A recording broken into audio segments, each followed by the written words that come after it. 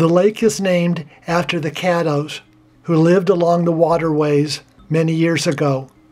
They were friendly people and pretty smart too. They were farmers, hunters, and fishermen. According to Caddo legend, the lake was formed by an earthquake in 1812. The exact origin, however, is cloaked in mystery, with many scientists believing that the lake formed when the water backed up from a huge natural logjam.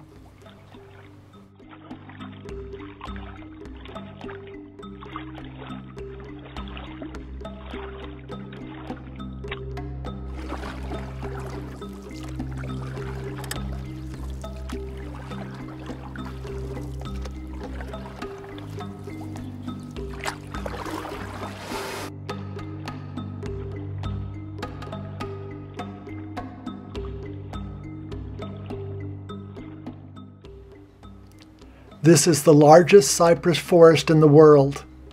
It is a soggy cocoon protecting and nurturing hundreds of types of mammals, birds, reptiles, and fish, while keeping most of modern life at bay.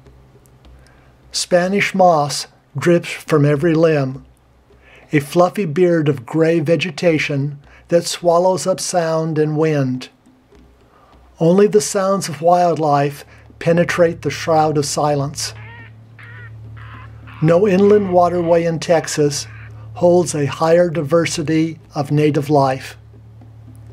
More than 40 species native to the lake and its wetlands are threatened or endangered.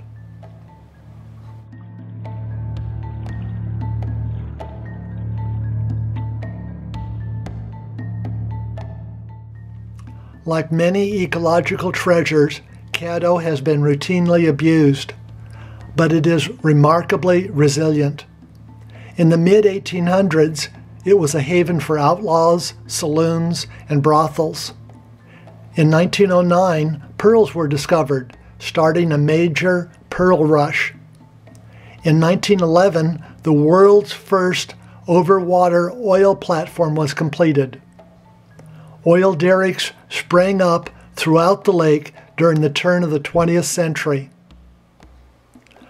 The lake is currently under siege by a fast spreading aquatic fern, giant salvinia. Accidentally introduced into the lake by boaters, giant salvinia doubles in size every two to four days, rapidly killing off life below the surface.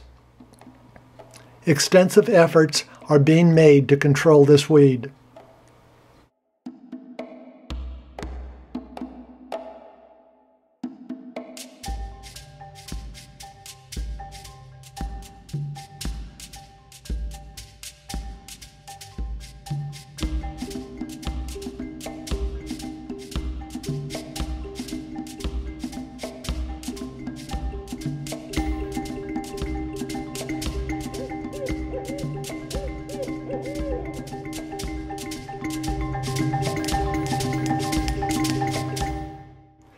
If you want to experience a refuge from the 21st century, visit Caddo Lake on the Texas Louisiana border.